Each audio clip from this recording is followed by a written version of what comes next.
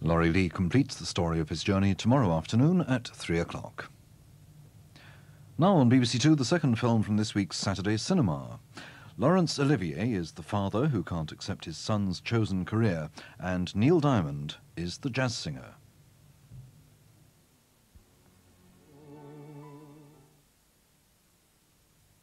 In an hour hereunto, the setting is late 18th century France, riddled with corruption, racked with decadence, and groaning under the yoke of tyranny, for the legendary National Theatre of Brent's presentation of Revolution.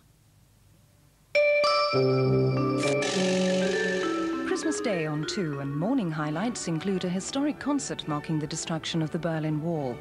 The Berlin Freedom Concert at 9.30 comes live from East Berlin Schauspielhaus, with Leonard Bernstein conducting Beethoven's Choral Symphony. At 11 o'clock, the family film, and Mark Lester stars as the Prince and the Pauper. Gold? We look like each other. No, you look like me. Which is interesting, if rather impertinent. There's impertinent dancing from Fred Astaire as he puts on the Ritz in this two-part documentary at 10 past one.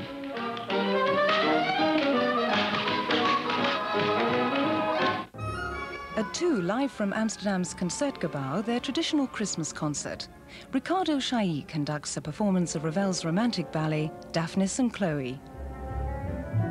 Daytime highlights for Christmas on 2.